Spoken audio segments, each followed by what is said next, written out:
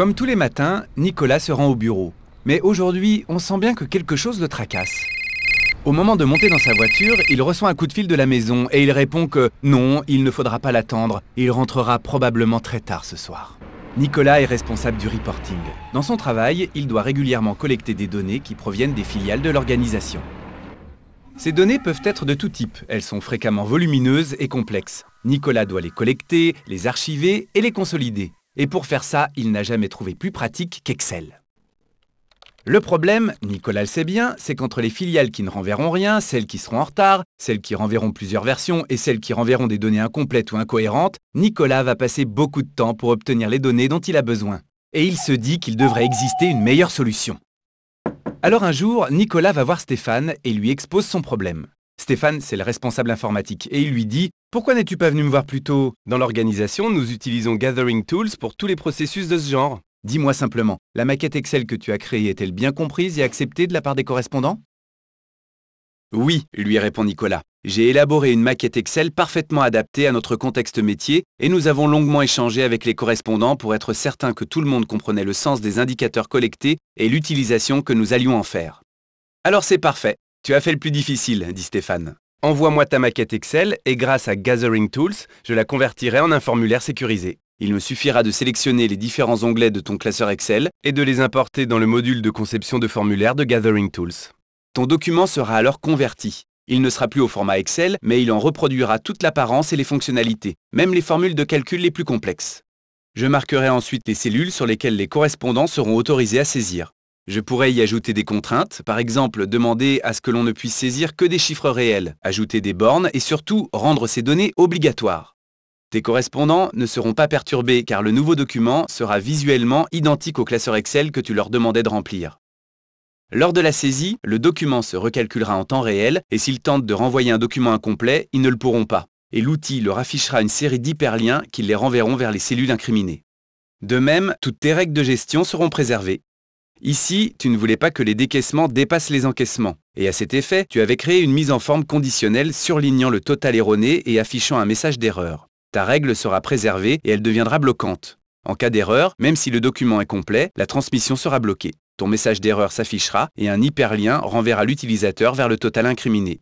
C'est seulement lorsque les données seront conformes à tes règles de gestion que la transmission sera autorisée. En résumé, tout ton investissement Excel sera préservé et sécurisé sans que je n'ai besoin de le reconstruire.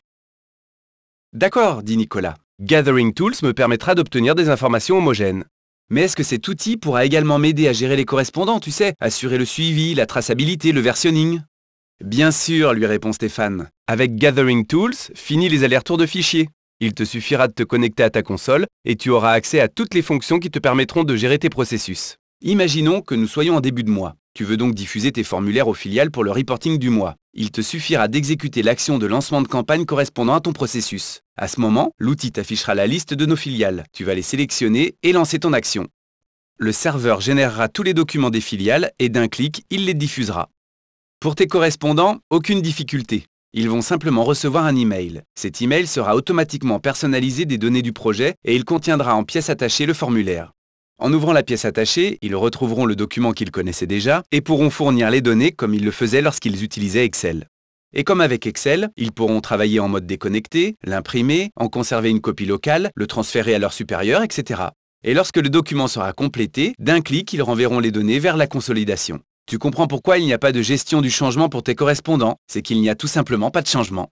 Une minute, prévient Nicolas. Tu m'expliques que mes correspondants pourront saisir les données comme dans Excel, mais tu sais, la plupart du temps, ils ne saisissent pas. Déjà parce que pour certains processus, elles peuvent être volumineuses, mais surtout parce que ces données existent.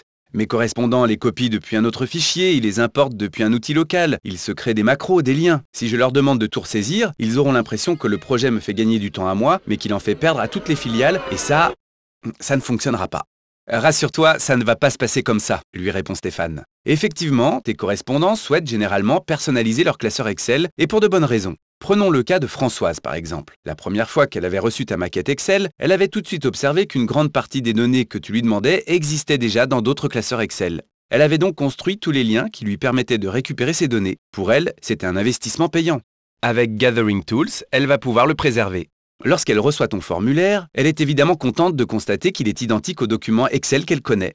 En revanche, comme elle a déjà construit toutes ces données dans Excel, elle aimerait bien les importer dans le formulaire. Ce qui l'inquiète, c'est que le formulaire et le classeur Excel ne sont pas exactement identiques. En effet, elle s'est aperçue que dans sa filiale, il n'y avait pas d'interco. Elle a donc naturellement supprimé la ligne dans Excel. De même, elle a inséré quelques colonnes pour y ajouter des indicateurs qui seraient propres au pilotage local de la filiale. Encore une fois, toutes ces modifications ont de la valeur au niveau local, mais bien sûr, elles présentaient un risque lorsque la consolidation se faisait sous Excel. Mais avec Gathering Tools, il n'y a plus de danger.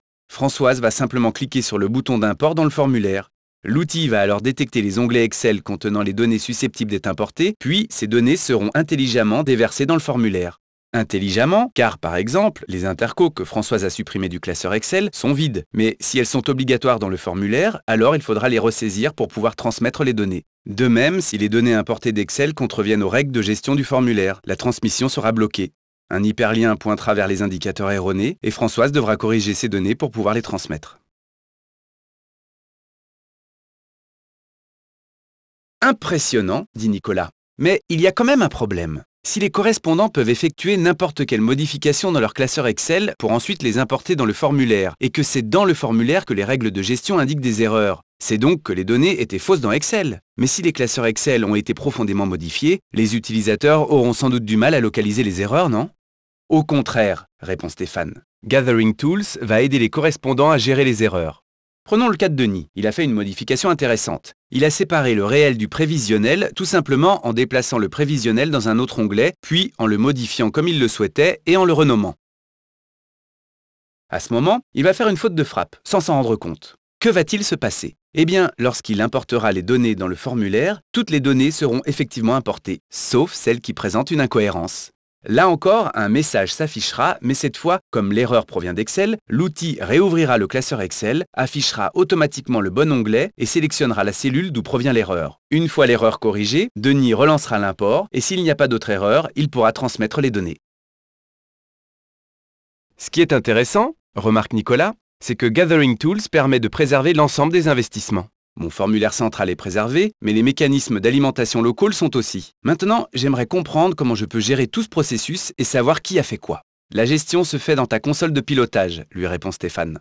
Dans l'onglet des campagnes, tu vois d'un coup d'œil où en est ton processus. Ici, sur les quatre filiales que tu as interrogées, il y en a trois qui ont répondu. D'un clic, tu affiches le détail et tu peux constater qu'à l'heure actuelle, c'est le Canada qui n'a pas répondu. En attendant qu'il le fasse, tu peux déjà passer en revue les réponses. Voyons celle de la France. La réponse a été envoyée à 16h05. En cliquant dessus, tu peux la consulter. Note bien que les données s'affichent dans le format de ton document modèle et pas dans le format Excel modifié par la filiale. Les versions sont rendues comparables. Tu peux maintenant rentrer dans un processus de workflow.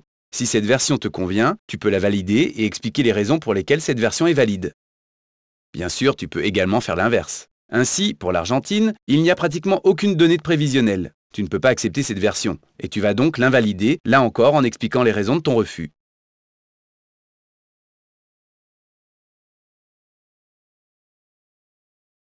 Enfin, les données de l'Algérie sont parfaitement acceptables. Bien sûr, le serveur garde de la trace de toutes tes actions. Ainsi, on saura que c'est toi, Nicolas, qui a validé les données de l'Algérie à 16h48 et pourquoi. Mais Gathering Tools te permet également de gérer le dialogue avec tes correspondants. En effet, même s'il est important de constater qu'un quart des filiales n'a pas répondu et qu'un tiers des données reçues est invalide, ce que tu souhaites est que les non-répondants répondent et que les données incohérentes soient corrigées. Pour cela, tu peux utiliser la fonction de relance. D'un clic, tu peux demander au serveur d'envoyer aux filiales sans réponse un mail de relance comportant à nouveau le formulaire, et pour les données incohérentes, c'est la même chose. Tu sélectionnes les filiales invalidées et elles recevront un email contenant le document à corriger. Tu peux même définir ton mail à la volée et le rendre dynamique. Par exemple, dans le sujet du mail, tu spécifieras le nom de la filiale concernée, puis, dans le corps du message, tu indiqueras qui a refusé cette version et pourquoi.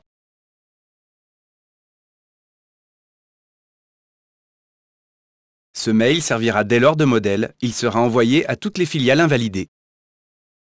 La traçabilité peut ainsi être redescendue au niveau local. Françoise, dont la réponse a été validée, reçoit automatiquement un accusé de réception. Juan de la filiale argentine reçoit le message d'invalidation qui lui explique que Nicolas a refusé ses données car il manque le prévisionnel. Il ouvre donc le formulaire et va importer les données depuis Excel. Le cas échéant, effectuer quelques corrections, puis renvoyer une nouvelle version. Quant à Daniel du Canada, il reçoit le mail de relance, ouvre le formulaire joint et y répond.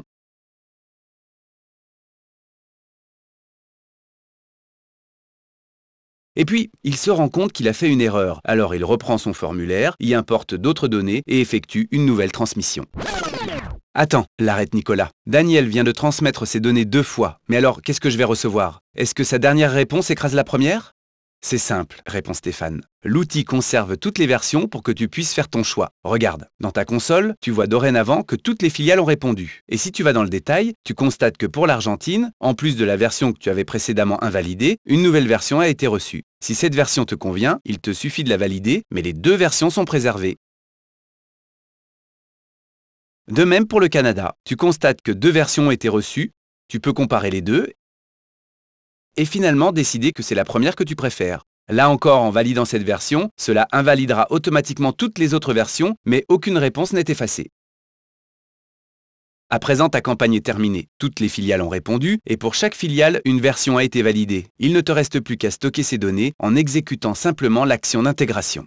Bon, dit Nicolas, mais une fois mes données collectées, comment ferais-je pour les exploiter? À l'heure actuelle, je fais mes analyses dans un tableau de bord Excel, et ce tableau de consolidation représente un véritable investissement. À cause des limitations d'Excel, il est compliqué de le mettre à disposition de mes correspondants, mais il correspond bien aux besoins. Est-ce que Gathering Tools va m'obliger à le refaire avec une autre technologie? En fait, on fera comme tu voudras, lui répond Stéphane. Gathering Tools permet de synchroniser les données que tu collectes au référentiel de notre système d'information. Ainsi, toutes les données que tu collecteras pourront être accessibles via les outils de restitution que nous possédons déjà. Mais si tu es pleinement satisfait de tes tableaux de bord Excel, Gathering Tools te permet de les conserver. Je vais simplement les monter sur le serveur et paramétrer les connexions de données. Et d'un clic, tu pourras diffuser automatiquement au correspondant un tableau de bord mis à jour, chacun obtenant évidemment un classeur alimenté des données de son périmètre.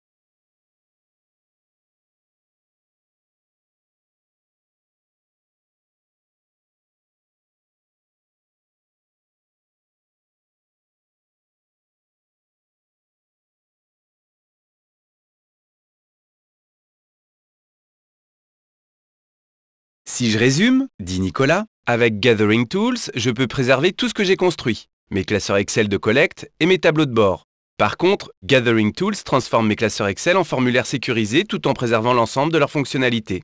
Gathering Tools synchronise les formulaires à notre système d'information et il me permet de piloter le workflow de construction des données. Finalement, j'ai déjà fait le plus compliqué. On pourrait presque dire que mes classeurs Excel servent de cahier des charges pour ce projet. C'est exactement ça, dit Stéphane. Avec Gathering Tools, on est tous les deux gagnants. Toi, tu seras délivré de la collecte manuelle des données du suivi et des consolidations, et moi, je pourrai synchroniser tes données à notre référentiel sans avoir à reconstruire tout ce que tu as réalisé. Pour moi, c'est un projet à la fois structurant, peu consommateur de ressources et réactif. Je suppose que tu n'as rien contre. Et Nicolas, effectivement, n'a rien contre. D'ailleurs, de retour à son bureau, il commence par envoyer ses maquettes Excel à Stéphane. Ensuite, il appelle chez lui pour prévenir que finalement, on peut l'attendre. Il ne devrait pas rentrer trop tard.